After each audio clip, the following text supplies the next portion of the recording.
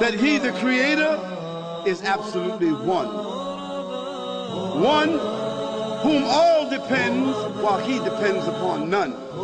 He begets not, nor is he begotten. And there is none in the creation that has any similitude to him. Verse in Surah Al-Mu'minun, verses 84 to 89, Allah says, Ask them, who does the earth belong to and all that is in it if you really know? They will say, Allah. So ask them, why do you not remember Him? Then Allah says, ask them, who is the Rabb, the Lord of the heavens and the earth? رب السماوات السبع ورب العرش العظيم Who is the Lord of the grand and majestic throne? They would respond, the mushrikun would respond, سيقولون الله أفلا تتقون Then why do you not fear Him? Then Allah says, ask them, in whose hands is the realm of all things? Who controls everything? And this is the height of rububiyyah. Allah is the Rabb, He controls everything. Ask them, who controls every atom of creation? And He protects you, while none can protect against Him. If Allah wills something, no one can protect you against Him. They will respond, Allah. So then ask them, why are you deluded? For how long? For how long are we going to be heedless of the signs of Allah?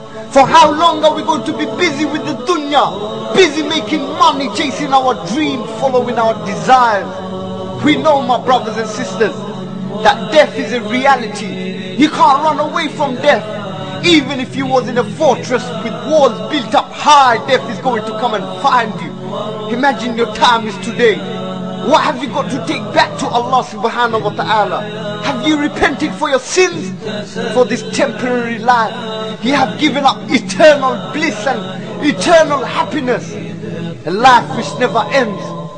My dear brothers and sisters, even if the hereafter was soil and mud and this dunya was gold and silver, still the hereafter would be better than this dunya because it is eternal.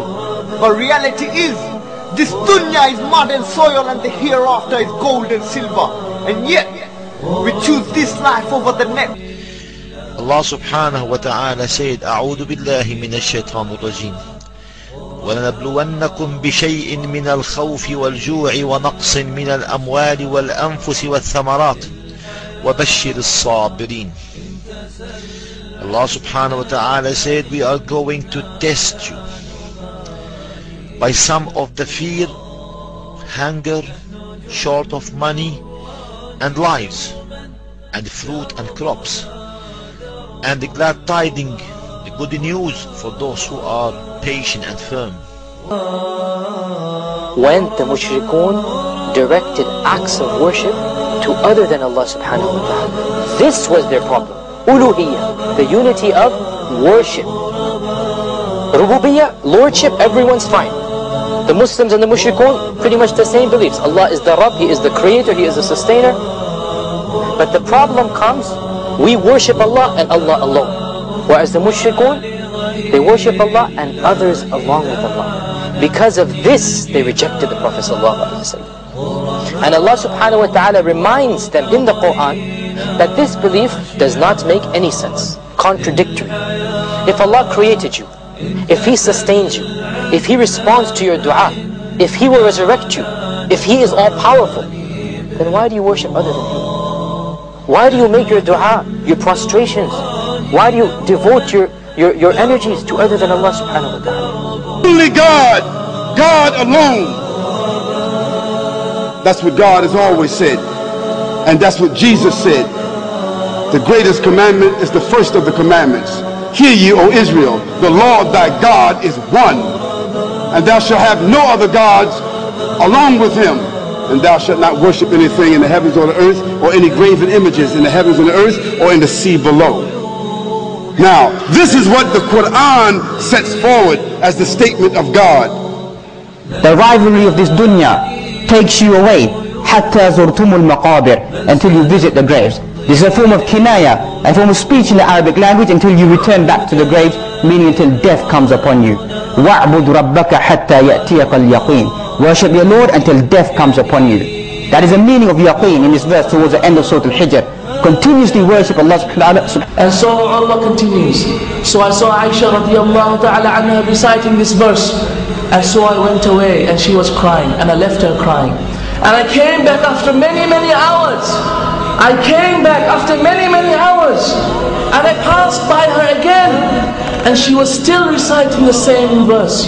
فمن الله علينا ووقانا عذاب السموم نعم and so Allah subhanahu wa ta'ala gave us the great bounty and saved us from the terrible torment my brothers have you heard of the story of Malik bin Dinar the story of Malik bin Dinar he used to stay up all night imploring to Allah grabbing his beard and saying Ya Allah indeed you know who will go to the hellfire and you know oh Allah I implore you which which of these groups am I in oh Allah I ask you which of these groups am I in need of anything. We are the ones who are in need of God. God is not in need of us. How can we turn in worship to a being that is also in need of God? Any being that we turn to is created, is powerless, is itself created. How can we turn to a created being for help when the Creator knows us and cares about us and loves us? This is the primary principle, this is the primary message of the entire Quran, that God is your Creator, you all know this. Why do you then worship other than God? Clearly visible in front of all of us. However, the majority of mankind wants to take the path of evil.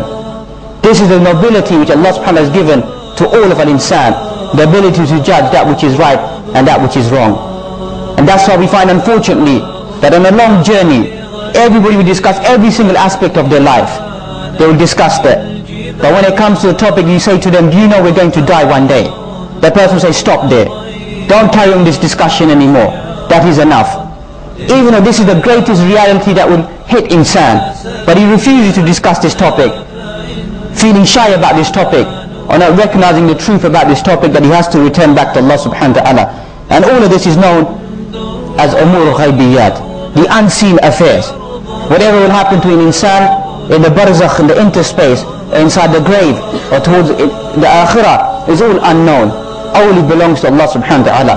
And the whole Quran begins with this message in Surah Al-Baqarah, that this is the book that there is no doubt, no discrepancy.